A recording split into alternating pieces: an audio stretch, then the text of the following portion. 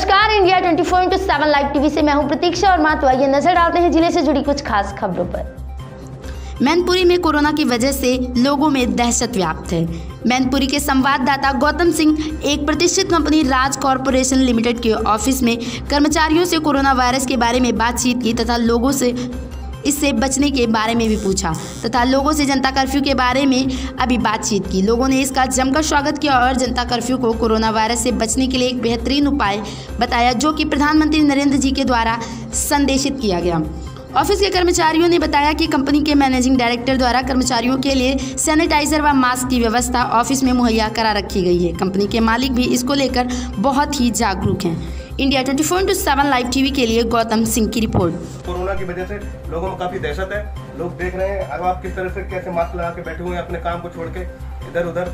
सब लोग अपने बचाव के लिए सोच रहे हैं। ऐसे ही हमारे एक मैनपुर शहर के निवासी हरिओम जी बताएँगे कोरोना वायरस से कैसे बच रहे हैं।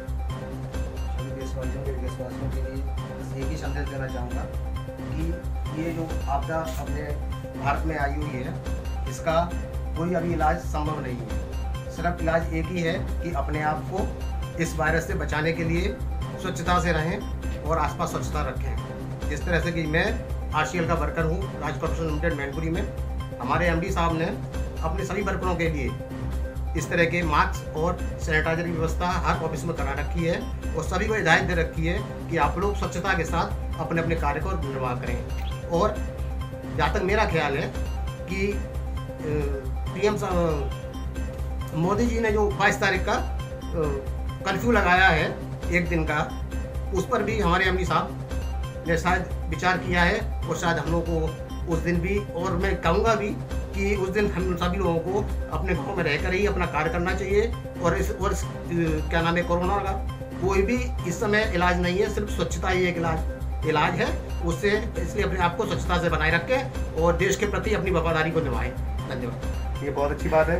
अपने सभी लोगों को इससे बचना चाहिए। विनोद जी आप क्या कहेंगे? इस बारे में हमारा यही ख्याल है कि जैसे कोरोना वायरस इतना बुरी तरह से प्रभावित कर रहा है लोगों को तो उससे यही है कि ज़्यादातर स्वच्छता का विशेष ध्यान रखें और घरों से निकलने से पहले पहले तो निकले ही नहीं। अगर किसी कारणवश अगर मार्केट या कहीं भी जाना होता है तो अपने मुँह पर मास्क और सैनिटाइजर अवश्य साथ रखें। अगर किसी कारणवश मान लीजिए कोई वर्कर है अगर कहीं आ, किसी काम से जाना हुआ बहुत ही इमरजेंसी काम हुआ तो वो घर से जब निकले तो अपने साथ सैनिटाइजर ज़रूर लेके जाए। और चाहे वो ट्रेन से जाए या बस से जाए चाहे जिस चीज़ से जाए सफ़र करे अपने आसपास के लोगों को देख ले कि वहाँ किसी को सर्दी जुकाम या कोई व्यक्ति कोरोना से संक्रमित तो नहीं है।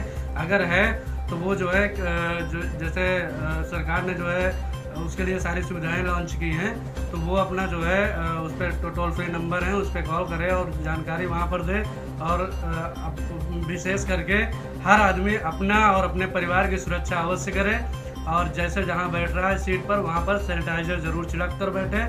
इसी के साथ धन्यवाद। अनिल जी आप बताएँ। इस लाइलाज बीमारी का कोई इलाज नहीं है। इस लाइलाज बीमारी का कोई भी इलाज नहीं है। इसका इलाज सिर्फ़ एक ही है कि हम एक दूसरे से बचाव रखें। अमित जी आप बताएँगे कुछ जनता कर्फ्यू के बारे में? सबसे पहले मैं अपने देशवासियों को मंगल में स्वास्थ्य की कामना करता हूँ एवं इस लाइलाज बीमारी को निपटने के लिए केवल एक ही उपाय है। सभी लोग स्वच्छता का विशेष ध्यान रखें मास्क एवं सैनिटाइजर का उपयोग अवश्य करें। इस बीमारी का कोई अभी तक इलाज नहीं मिल पा रहा है। इसीलिए सभी से यही निवेदन करूँगा कि अपनी पूर्ण स्वच्छता का विशेष ध्यान रखें तभी इस बीमारी से निजात पाई जा सकती एवं देश हित में सभी कर्मचारियों का, पुलिस कर्मचारियों का एवं चिकित्सा कर्मचारियों का विशेष सहयोग बनाए रखें। धन्यवाद। आप लोगों ने देखा? तो खबरों का सिलसिला यूँ ही चलता रहेगा। मिलते हैं अगली खबर के साथ। तब तक के लिए आप बने रहिए India twenty four into seven live TV के साथ। नमस्कार।